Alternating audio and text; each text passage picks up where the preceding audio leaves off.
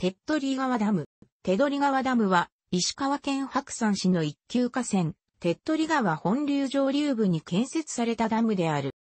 国土交通省北陸地方整備局と電源開発及び石川県の3社が共同で管理する河川法第17条に基づく県用工作物ダムで高さは153.0メートルであり、北陸地方最大のロックフィルダムにして、石川県最大のダムである。手っ取り川の治水と金沢市をはじめとする石川県、加賀、能登地域への利水、及び出力25万キロワットに達する水力発電を目的とする多目的ダムである。ダムによって形成された人造湖は手取湖と命名され、福井県の九頭竜湖、九頭竜川に次ぐ巨大な人造である。石川県最大の河川である手っ取り川は古くから急流で知られ、水害常習地帯であった。このため幾度も築堤などの河川整備が行われていたが、豪雨や台風で破堤を繰り返し、十分とは言えなかった。それまでは、石川県が手っ取り川の治水事業を担っていたが1966年、昭和41年に手っ取り川が一級水系に指定され、囲碁国の直轄管理による河川改修へと移行した。1967年、昭和42年に建設省北陸地方建設局は、手っ取り川水系工事実施基本計画を策定。この中で、洪水調節の確実性を図るため、手っ取り川上流部に治水用のダム建設を計画した。時期を同じくした1968年、昭和43年、九頭竜川水系の電力開発に区切りをつけた電源開発は次の開発地点として白山山系の豊富な水量と急流を有する手っ取り川に着目。大規模なダム式発電所を手っ取り川水系に建設する計画を立て、調査に入った。またこの頃は、金沢市、小松市をはじめとする石川県加賀地域の人口が急増、さらに工業地域の拡充も相まって、水需要が鎖新たな水源確保の必要性に迫られた石川県が利水の水源を手っ取り川に求めた。こうして目的の異なる3事業者が同じ手っ取り川水系に開発の職種を伸ばしたため、事業の調整が必要となった。1970年、昭和45年、建設省北陸地方建設局と電源開発、石川県の3社は、事業の調整協議を重ねた結果、治水と利水、水力発電を共同して実施する、手取川総合開発計画を策定。その中核として、石川郡小口村に大規模な多目的ダムを建設する方針を固めた。このダムについては、事業主体が異なる3事業者が共同で施行することから河川法第17条を適用。県用工作物として事業内容の分担を検討した。その結果ダム本体の施行、完成後のダム停滞の維持管理、水力発電に伴う利水について、電源開発が担当し、残りを建設省が担当することで決定。利水事業者の石川県は事業を建設省に委託することで調整が定まった。こうして、手っ取り川総合開発計画の根幹事業として計画されたのが、手取川ダムである。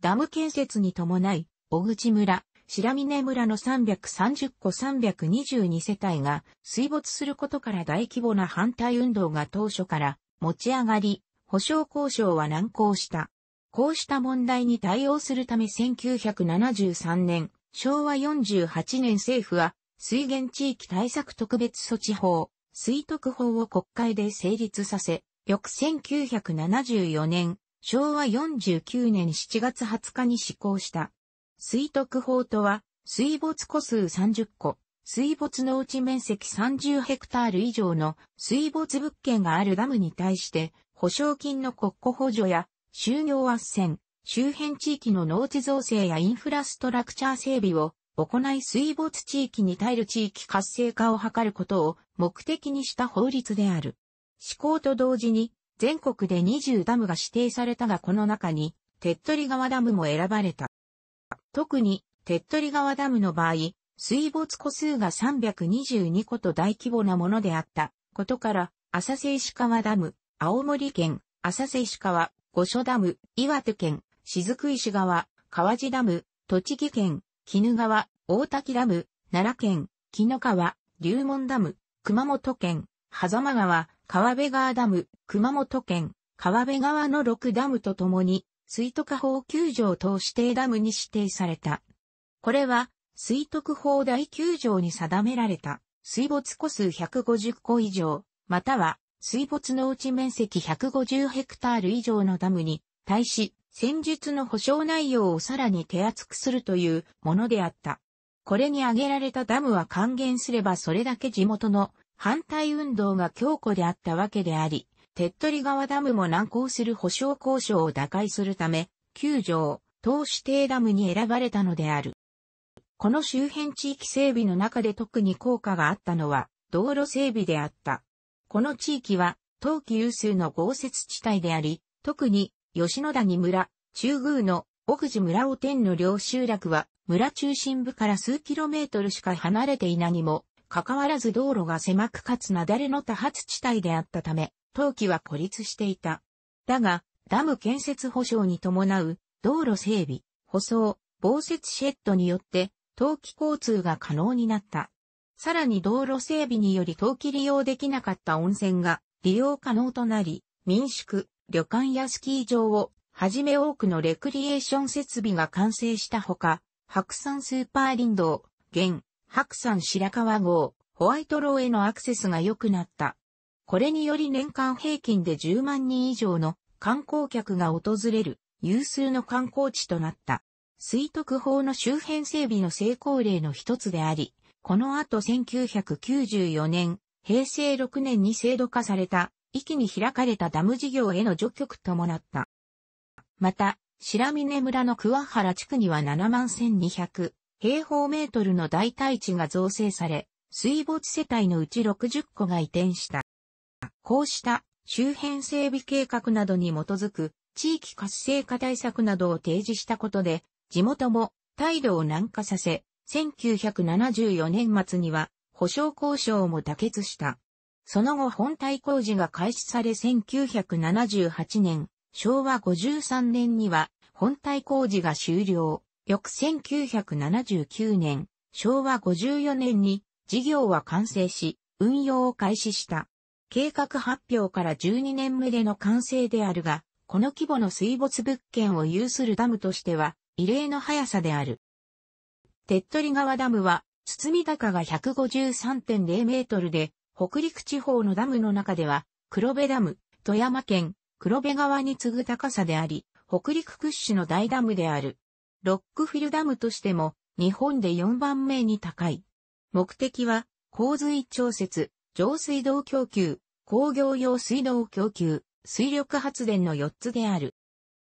洪水調節については、ダム地点で毎秒2400トンの計画降水流量から毎秒800トンをカットし、下流には毎秒1600トンの量に減らして水量を調節する。また堤防や稼働回収などの河川整備と連携することで、白山市剣において、毎秒6000トンの洪水を毎秒5000トンへと減らす。上水道については、金沢市、小松市、加賀市、白山市、河北市、七尾市、白衣市、鹿島郡中野都町、白衣郡宝達清水町、河北郡内灘町、津幡町、野々市市の8市4町に対して日量として44万トン補給、工業用水道については、金沢港周辺の工業地域に日量5万トンを供給する。このことから手っ取り川ダムは石川県中南部の重要な水がめとなっている。なお、貯水率が8.4%以下になった場合、取水制限がかかる恐れがあるという。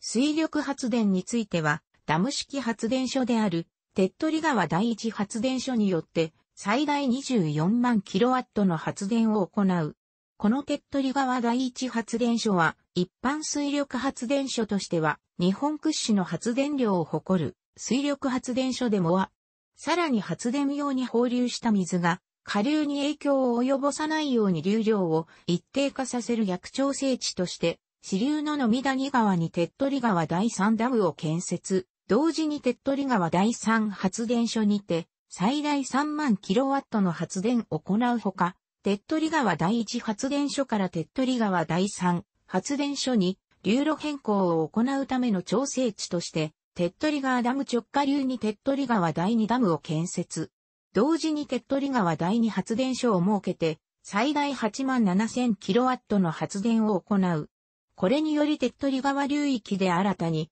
最大35万7000キロワットの電力が生み出され、北陸有数の電源地帯となった。なお、手っ取り川第一発電所は電源開発の管理であるが、第2、第3発電所は北陸電力の管理である。2008年、平成20年3月、一面に積雪した手っ取り川ダムにスノーボードで滑走した跡が発見された。スノーボーダーは当時関係者以外立ち入り禁止だったはずのダム天場に侵入。そのままダムの直下まで直線距離にして約320メートルを滑り降り、下流の集落へと続く道をたどって逃走したという。防犯上、カウンターテロリズムの観点からも、ダムへの不法侵入という点は問題であるが、それ以上に、新設上での滑走は雪崩による災害を誘発しかねない、極めて危険な行為である。